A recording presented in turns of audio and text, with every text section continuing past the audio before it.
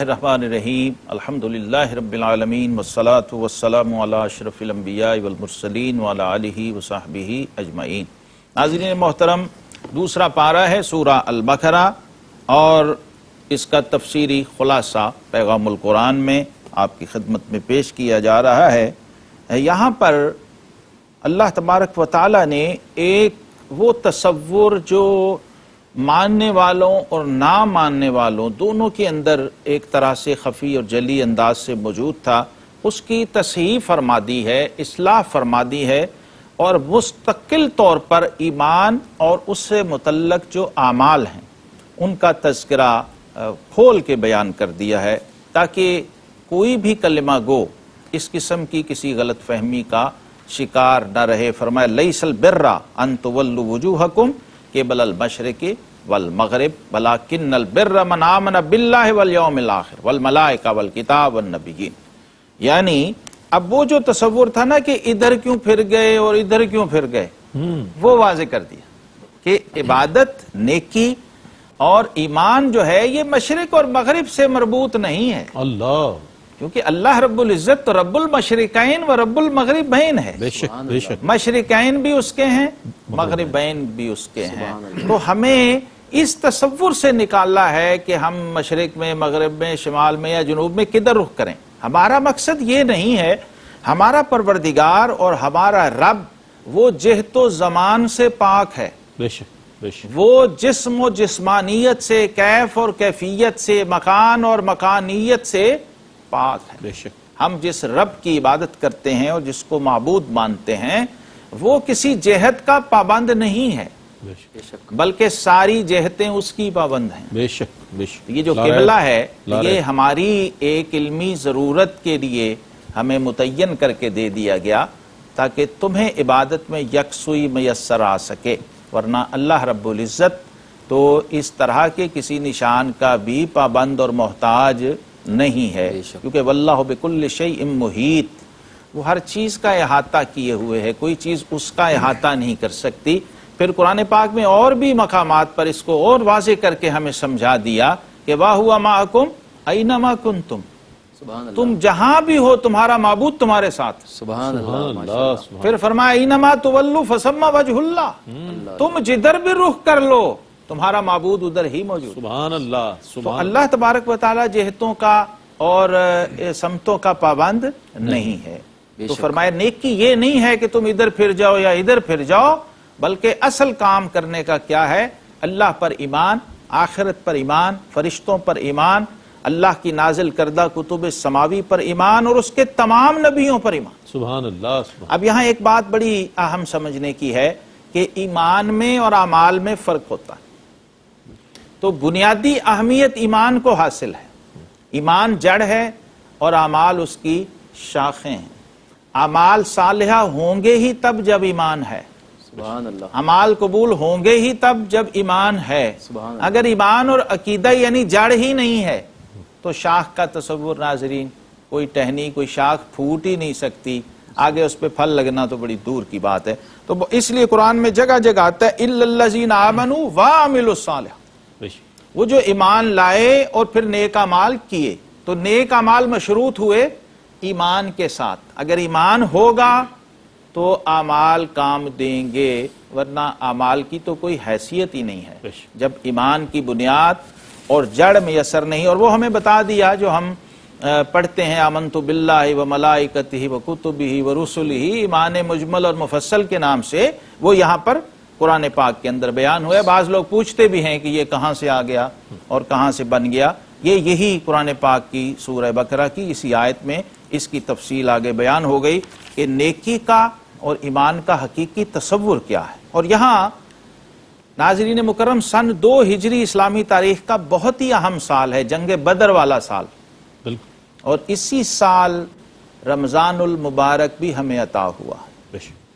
इसी साल रोज़े फ़र्ज़ किए गए इस उम्मत पर और फरमाया या अयुहल्लजीन अलैकुमुस्सियाम ए ईमान वालो तुम पर रोज़े फ़र्ज़ किए गए हैं जैसा कि तुमसे पहली कौमों पर फ़र्ज़ किए गए थे। ये इसलिए बता दिया कि कोई ये ना समझे कि सिर्फ़ शायद हम ही पर फ़र्ज़ किए लेकिन फ़र्क देखिए क्या है फ़र्क ये है कि पूरा महीना एक रूहानी पैकेज की शक्ल में जो हमें मिला है ऐसा किसी और उम्मत को नहीं मिला। बेशक ऐसा था दो चार दिन का रोजा रख लें दस दिन का आठ दिन का हफ़्ते का रोजा रख लें और फिर रोजा भी ऐसा कि आज से शुरू किया है तो कल इस वक्त तक रोजा चलेगा। तो यहाँ मजीद मेहरबानियाँ फरमाई गई इसी पारे में आगे। उन आयात का भी तस्करा है कि वो जो रातें थी पहले शामिल थी रोज़े में फिर उनको खोल दिया गया और फरमाया ओहिल्ला लकुम लईलतुस्सियाम तुम्हारे लिए जो रमज़ान के रोजों की रातें हैं वो हलाल कर दी गई हैं। वरना पहले तुम बाउंड थे और पाबंद थे। तो एक तो रोजों की फर्जियत का तस्करा आ गया इस मकाम पर और दूसरा माह रमज़ान का कुरान से ताल्लुक। वो भी इसी मकाम पर अगली आयतों के अंदर उनका ज़िक्र भी आ गया। शाहरु रमज़ान अल्लजी उन जिलफ़ील कुरान हुदल्लिन्नास व बैनात मिनल हुदा वल फुरकान। सुभान अल्लाह सुभान अब देखिए उधर कहा था हुदल्लिल मुत्तकीन। यहाँ फरमाया हुदल्लिन नास क्योंकि मुत्तकीन नास में शामिल हैं। हम्म, मुत्तकीन जुज हैं और नास कुल। है। हम्म, मुत्तकीन के लिए खसूसी तौर पर हिदायत है और आमतुन्नास के लिए उमूमी तौर पर हिदायत है। सुभान अल्लाह। तो फिर फरमाया कि इसके अंदर हिदायत के बहुत वाज सामान और इसबाब मौजूद हैं और ये फुरकान भी है। कुरान के ज़रिए ही आप हक और बातिल में फ़र्क करने के काबिल हो सकते हैं। इस मौके पर कुरान पाक में माह रमज़ान रमज़ान और रोज़ा और उसके फ़दिया और उसकी सहरी और इफ्तारी का तफसील के साथ ज़िक्र आ गया, चूँकि हम खुलासा अर्ज़ कर रहे हैं, इसलिए इशारा तन और फिर रोज़े के हवाले से ये भी बता दिया कि जो सफ़र में है, जो मरीज़ है, वो क्या करे? अगर रमज़ान के अंदर मुसाफिर है तो फरमाया, वो बाद में रोज़ा रख ले। फ़ाइद्दतुम मिन अय्यामिन उखर। वो बाद में रोज़ा रख ले। उस पर रोज़े की फर्जियत नहीं है। इसी तरह कोई मरीज़ है, शदीद बीमार है तो वो रोज़ा ना रखे, बल्कि फरमाया फ़ाइद्दतुम मिन अय्यामिन उखर। बाद में जब सेहत और हज़र में आ जाए तो फिर उसको पूरा कर ले और ये कुरान ने बुनियादी उसूल दे दिया पूरे दीन की रूह इस मकाम पे आ गई कि युरीदुल्लाह युसरा वला युरीदु बिकुमुल उस्र। वाह वाह वाह। अल्लाह तुम्हारे लिए आसानियाँ चाहता है तुम्हारे लिए तंगी और मुश्किल नहीं चाहता। सुभान और फिर देखिए रब्बुल इज़्ज़त का अपने बंदों से कमाल मोहब्बत दुआ मांगने की तरकीब आ गई यहाँ पर सूरह अल बकरा के अंदर। फरमाया व इजा साल का इबाद अन्नी फ़न्नी करीब। के महूब जब लोग मेरे बारे में पूछे मेरे बंदे कि हुजूर हमारा रब कहाँ है, क्योंकि यूमिनुना बिल गैब की बात हो रही है, बिन देखे मबूद को हम मान रहे हैं, सजदे कर रहे हैं, उसे मुनाजात कर रहे हैं तो जब मेरे बारे में मेरे बंदे ए हबीब इस्तफसार करें तो आप उन्हें बता दीजिए फ़न्नी करीब हम तुम्हारे करीब हैं तुम्हारी शाह रगों से भी ज़्यादा करीब। वफी अनफुसिकुम अफला तुबसिरून। हम्म, फरमाया तुम्हारे अंदर ही है सब कुछ तुम देखते नहीं। इसलिए सूफिया कहते हैं मन आरफा नफ्सहू फकत आरफा रब्बा। फरमाया जिसने अपने आप को पहचान लिया उसने अपने रब। को पहचान लिया। तो अब दुआ का फलसफा दे दिया है कि पुकारो। आका करीम अलैहिस्सलाम ने फरमाया कि अल्लाह रब्बुल इज़्ज़त को रब हो के बेनियाज हो के हया आती है कि कोई साइल कोई मंगता उसकी बारगाह में हाथ उठाए और हाँ। फिर वो उन हाथों को खाली वापस लौटा दे। ये दुआ जो है नाजरीन मोहतरम इस्लाम में इसको रूह की और मगज की हैसियत दी गई है इबादात में। फरमाया अदुआ हुवल इबादा। और दूसरी जगह फरमाया अदुआ मुखल इबादा। दुआ बजाते खुद इबादत है इसको कोई जायद या इजाफी चीज़ ना समझा जाए। और एक गैर ज़रूरी चीज़ ना समझा जाए। अल्लाह का महबूब तरीन और पसंदीदा तरीन अमल है और फिर फरमाया ये इबादत ही नहीं बल्कि इबादत का मगज है। है। इसलिए खुशू से लिल्लाहियत से इखलास हुजूरी के आलम में और यकीन कामिल के साथ अपने रब से जब दुआ मांगी जाए तो वो यकीनन कबूल होती है। रद्द नहीं होती और बंदा ये जान ले कि मैं जिससे मांग रहा हूँ वो मेरे बहुत ही करीब है। वो मुझे सुन भी रहा है मुझे देख भी देख रहा भी रहा है। वो समी भी है अलीम भी है और बसीर भी है। तो अल्लाह। अल्लाह ने यहाँ पर खुद जमानत दी है कि जब वो दुआ मांगेगा फल यस्तजीबूली एक तो चाहिए कि मुझ ही से मांगे। मेरी ही तरफ़ रिजू करे। और फिर ईमान के साथ, कमाल ईमान के साथ मांगे तो ज़रूर मिलेगा। यहाँ पर एक और अहम नुक्ता सूरा अल बकरा के अंदर उठाया गया है, आयत नंबर 188 के अंदर। फरमाया, वला ताकुल अमवालकुम बैनकुम बिल बातिल है लोगो, आपस में एक दूसरे का माल ना हक ना खाओ। इसको हराम करार दी दिया गया।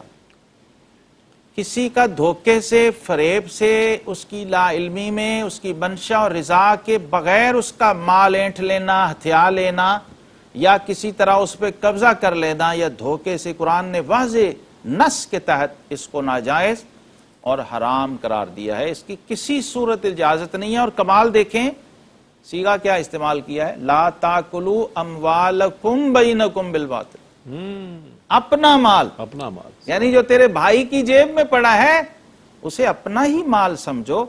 जैसे अपने माल की हिफाजत करते हो और उसको अहमियत देते हो और उसकी हुरमत को मानते हो जो उसका माल है उसको भी उसी तरह से अहमियत दो और हुरमत दो। माल की हुरमत भी नाजरीन मोहतरम हमारे दीन ने कायम रखी है। उसी तरह जैसे जान की और जैसे इज़्ज़त की हुरमत है। जैसे खून की हुरमत है और जैसे इज़्ज़त की हुरमत है, वैसे ही एक शख्स की प्रॉपर्टी, माल और उसकी दौलत की हुरमत है। इसलिए फरमाया, मन कुतिल दून माल ही फहुआ शहीद। जो अपने माल की हिफाजत में मारा गया, वो भी शहीद है। फिर चाँद की बात आई, कमरी महीनों की बात आई। ये भी इस्लाम ने कमरी महीने जो हैं, हिजरी तारीख और तकवीम जो है, इसको बहुत अहमियत दी है। और हमारे आयम तफसीर ने लिखा है कि जो कमरी महीने हैं इनको शमसी महीनों पर फजीलत हासिल है। क्योंकि हम जब रमज़ान के रोज़े रखते हैं हम जब ईद करना चाहते हैं तो हम चाँद देखते हैं और उसका अहतमाम करते हैं। यहाँ तक कि हज का भी सारा निज़ाम इसी चाँद के और इसी कमरी तकवीम के साथ जुड़ा हुआ है और वाबस्ता है। तो यहाँ ज़िक्र कर दिया यस अलून का अनिल अहिल्ला। ए हबीब ये आपसे हिलाल और जो चाँद है इसके बारे में पूछते हैं तो इन्हें बता दीजिए या मवाकी तुल्नास वल हज। हज का खास तौर पे ज़िक्र किया गया कि ये लोगों के लिए एक मुकर्रा कैलेंडर और निज़ामुल औकात है। बाकी साल के लिए भी और हज के लिए भी। ये भी अल्लाह का एहसान है हम पर कि हमें अल्लाह तबारक व ताली ने साल की पूरी तकसीम खुद बना के दी है। ये भी कुरान का एजाज व कमाल है कि हमें बता दिया गया कि इन्ना इद्दत शहूर इंदल्ला इसना अशरा शहरन। अल्लाह के नज़दीक महीनों की गिनती बारह है। और ये कब से है? जब से अल्लाह ने ज़मीन व आसमान बनाए।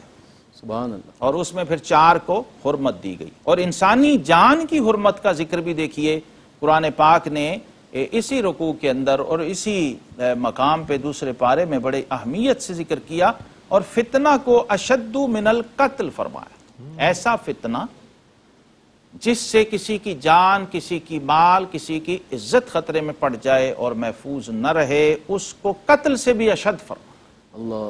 कत्ल के बारे में यह है कि जिस शख्स ने किसी एक जान को कत्ल किया गोया उसने पूरी इंसानियत को कत्ल किया तो अब अंदाज़ा कीजिए कि फितना जो है उसको अशद्दु मिनल कत्ल कहा जा रहा है। तो उसका क्या आलम होगा? आप जबान से आपके अमल से आपके कौल से आपके फेल से आपकी सोच से आपके नजरियात से अगर कोई फितना पनप रहा है तो आप गौर कीजिए कि कुरान उसको कत्ल से भी बढ़कर शदीद जुर्म करार दे रहा है। तो इस शिद्दत के साथ इस तस्करे का एक अहम अहम तरीन फ़ायदा यह है कि बंदा फितने की हर सूरत से बचे। फितने फितने की हर कैफियत और हर जहत से अपने आप को बचाए और महफूज रखे। और यहीं पर इसी दूसरे पारे के अंदर हज और उम्रे के अहकाम का भी ज़िक्र आ गया है। फरमाया व अतिमुल हज्जा वल उमराता लिल्लाह हज और उम्रा जो है अल्लाह के लिए करो। सुभान अल्लाह बाज सीरत ने लिखा कि ये छः हिजरी में जब सुलह हुदैबिया के लिए मुसलमान गए थे हुजूर सल्लल्लाहु ताला अलैहि वसल्लम के साथ उमरा के लिए निकले थे और फिर हुदैबिया के मुकाम पर सुलह हुदैबिया का वाक़ पेश आ गया था और कुफ़ार ने इजाज़त नहीं दी थी कुरैश मक्का ने कि आप अपने असहाब के साथ उम्र अदा करें तो अल्लाह तबारक व ताली ने ये आयात नाजिल फरमाई थी। यहाँ हमारे आयम अहनाफ जो हैं वो फरमाते हैं कि जब कोई शख्स नवाफिल की नीयत करके नवाफिल शुरू कर दे तो फिर नवाफिल को मुकम्मल करना उस पर वाजिब हो जाता। जब शुरू नहीं किए थे तो वो नफल था। जब शुरू कर दिए नीयत बाँध कर ली एहराम बाँध लिया तो अब क्या हुआ? अब उसका इतमाम और उसकी तकमील लाजिम वाजिब हो गई। इसलिए यहाँ फरमा दिया कि हबीब अब चूँकि अदा नहीं कर सके तो अब उम्र कजा के तौर पर अदा किया जा।